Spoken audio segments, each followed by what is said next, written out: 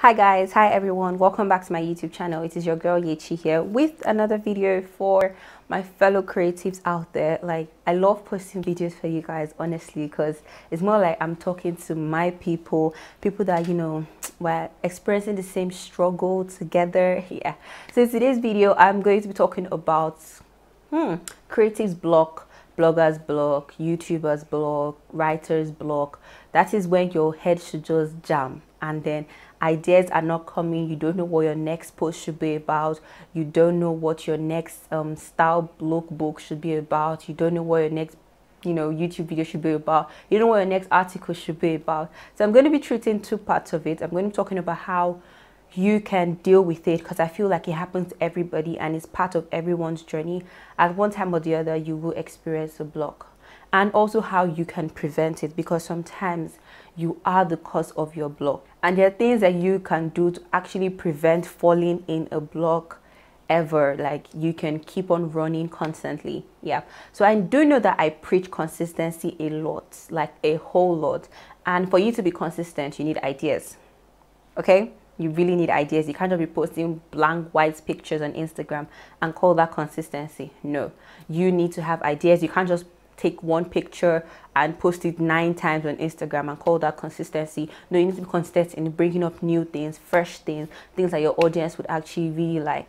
And sometimes when the block comes, it's just like you really want to be consistent, but there's really nothing to post. So your consistency actually boils down to your ideas, the amount of ideas that you have. So I'm going to be telling you guys how to prevent a creative block and also what to do when it happens because I've had my first share of creative block for YouTube here and also for my blog in different times like at different different times I didn't know what to put up so stay tuned we'll go into it right now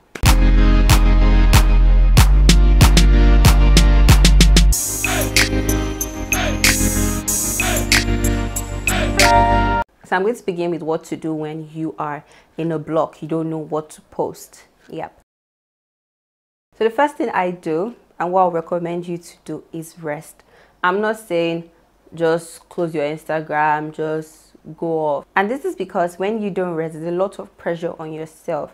And that pressure can make you post the dumbest things, can make you post irrelevant content, can make you post trash, can make you post things that, that don't even matter. So for example, if I have nothing to post on my page and I have so much pressure on myself, I can decide to start posting memes and like I'm I've not posted a meme on my page, so that's not really my content. So it makes people go outside their thing, try to post things on trends that have nothing to do with their brand at all. So I would say actually breathe and rest. Take that pressure off yourself to create. Yes, your audience might be asking, oh, when is a new blog post? When is a new YouTube video coming? But just relax and tell that, okay, I'm going to do something soon. I'm working on it and just rest. Sometimes when I start thinking too much about it, I just sleep and when I wake up, I feel much, much more refreshed. That's it for me. So I would say rest, take your mind off the whole pressure to create.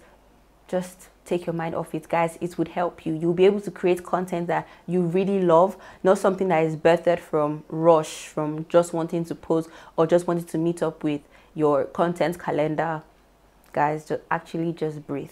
So the next thing would be do something that you love. For me it is reading a book. So after resting or, or if i don't rest what i do is i read a book. Um, this also opens up my brain. It's very relaxing. Sometimes i just pamper my skin and just chill. Watch a movie, watch comedy, which I really love watching on YouTube also. Maybe find a movie to watch on Netflix and just relax. Do the things that I love. If it's knitting that you like, like knit. If it is maybe beating your face or something that makes you happy, do it. If it is cooking, then just cook.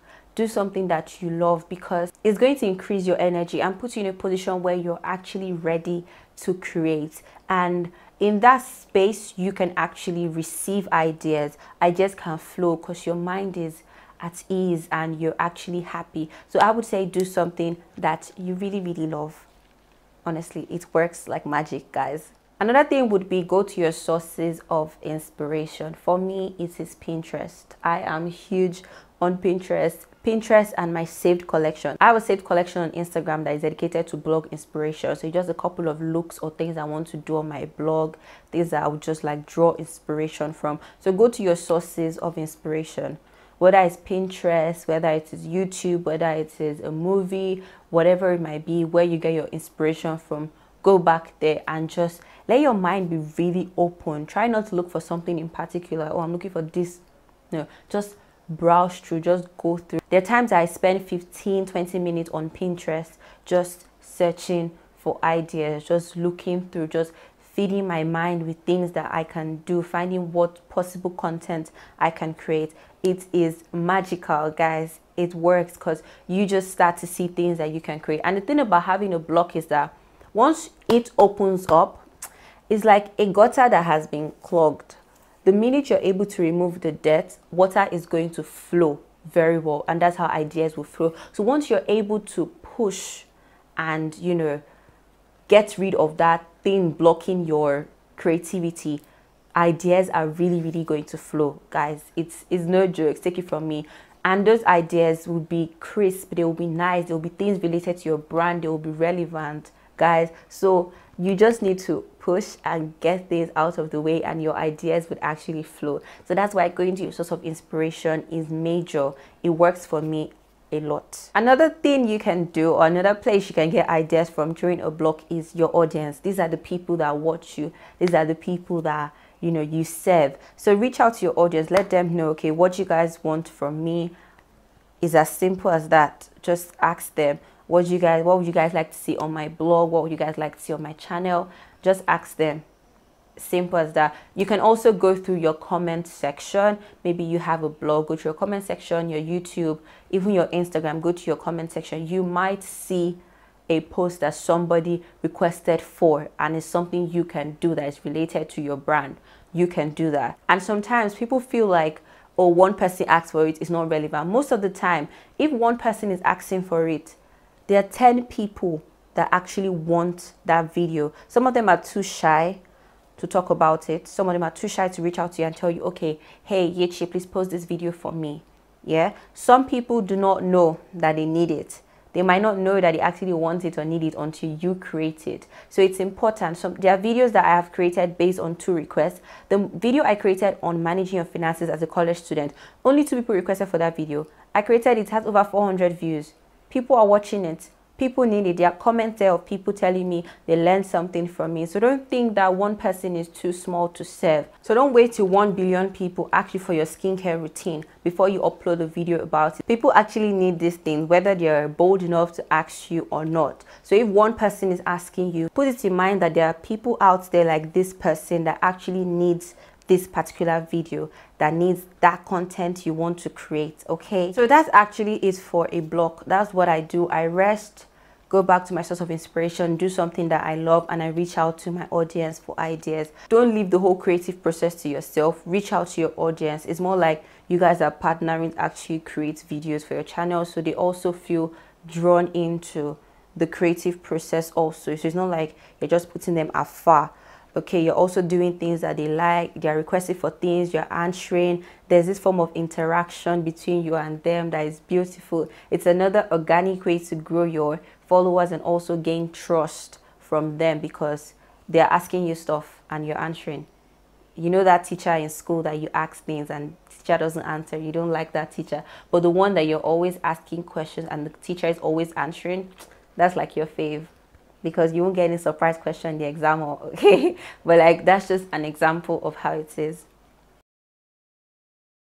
so now to part two of this video, which would be about preventing a block. It is major because if you do part two very well, you might not need to do part one. The first thing would be when you're venturing into a new field, you're venturing into whatever thing it is, whether a blog, whether your YouTube channel, whether you want to start a series on IGTV, collect as much ideas as you can. I cannot emphasize this enough. When I was about to start my YouTube channel, I had a journal that I was using at, at that time. It was just a journal where I used to write down different things. So I decided to dedicate it to writing out my ideas. So I wrote out about two full pages of videos I can post. Till date, I've not posted all the videos on that book. So if I'm ever out of ideas, I simply have to go back to that book, look for one or two videos that, okay, I can do at this time and upload it, film it, upload it. That's all. It's an idea and it would actually be relevant. So before you start, before you, if you've started and you've not done that, it's fine. But if you're about to start maybe a channel, try to sit down, get ideas, call family, call friend, reach out to maybe your mates in school or wherever. Say, okay, what, what would you like me to put on my channel? So gather your ideas. Gather your ideas. These are like seeds that you would plant and it will help you grow, honestly gather your ideas really well have a book dedicated to writing down ideas be it big be it small you can also do this on your notes in your phone if you're a really digital person or on your laptop you can type it down this is very important and it will get you running years later like it would keep you moving so another thing you can do is to be in touch with your audience whether it is your content is evergreen you just started whatever stage it is. But before you even have a block, be in constant touch with your audience. And I mean talking to them, getting feedback from them on what they want you to post, this and that. So early in May, I asked my audience, what would you like to learn from me?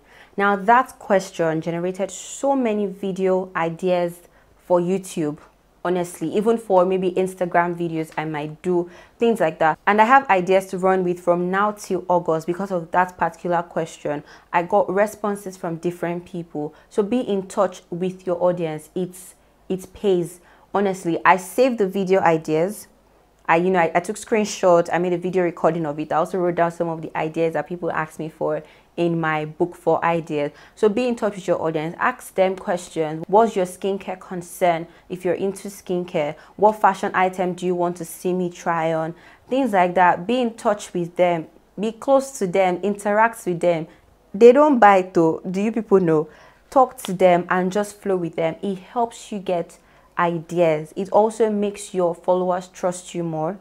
Honestly, it makes them trust you more. I cannot emphasize that enough. So save the ideas when you get them. When you get an idea or a request from somebody, oh yeah, I really liked that video you did. Could you do a video on this? Take a screenshot or write it down. But these ideas would help you in the long run. You can't be coming up with all the ideas yourself. It's not easy. So sometimes when people request, try and answer them. Another thing, and I think this is like the final thing, would be constant research, constant search for inspiration. So if you don't want to get dry, you have to constantly be filling yourself. It's just like a tap. If a tap, if you don't want the tap to stop running, you need to ensure that there's always water in the tank.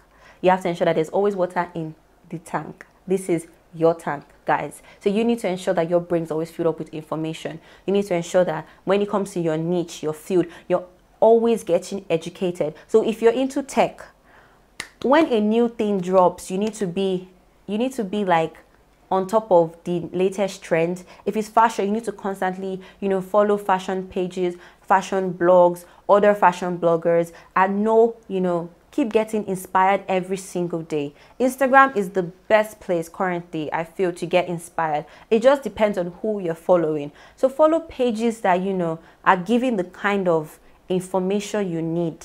Follow them, study their pages. Sometimes maybe once a week, do a research, scroll on Pinterest. Just make it a habit to constantly be inspired. Like I follow a lot of bloggers. I follow a lot of youtubers. So i'm constantly you know getting information. I also follow like style pages. My favorite currently is style me africa. So um yeah i'm seeing new looks. I'm seeing things that you know i can recreate. I'm seeing things that are giving me inspiration. And i'm saving it to a collection to a folder on instagram. And that is how my bank of ideas is not going to dry out at all. I'm always going to have some form of content to post here and there. So that works for me, guys. Those are the three things I would actually say. Be in touch with your audience. Be in touch with your audience. Have a pool of ideas before you start. And also get inspired, do your research. Stick, be close to your source of inspiration. It is important, guys. It's really, really important. Make it a habit to always feed yourself because you're serving people you are serving people you are delivering like when i drop a video i'm like i've dropped gems so i have to you know fill myself back up That's how it is. So you need to know that you're giving to people. And the only way you can keep on giving is if you're constantly receiving, if you're constantly getting inspiration. That's the same way. That's the only way you can constantly give out inspiration. So consistency is not hard. You can prevent a block. When the block comes, you can push it away and you know let your ideas keep on flowing.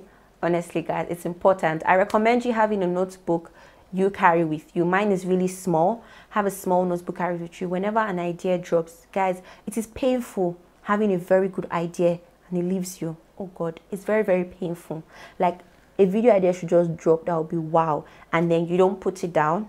Of course, your brain will store things forever. School should, must have taught me that. Trust me. So you need to be putting things down honestly have a book your notepad on your phone is amazing for that and guys this would help you in your content game. I hope you found this video helpful. I hope you stay on the prevention side, you prevent a block. And I hope if you were having a block, this video helps you get out of that block. Okay, guys, thank you so much for watching this video. Happy Sunday if you're watching this on a Sunday. Um, to the Muslims that are my followers, happy holiday. Enjoy your holiday. I love you guys so much. Bye.